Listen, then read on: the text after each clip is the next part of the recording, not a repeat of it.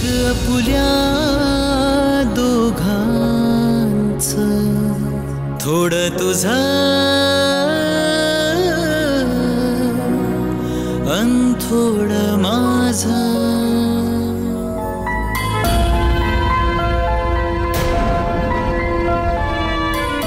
पुरीच्या सुखासाठी सगळे काही हरायला तयार आहे हा भाव. असे बाबा कधीच वागले नाहीयेत. लग्न आहे ना तुमचं उद्या?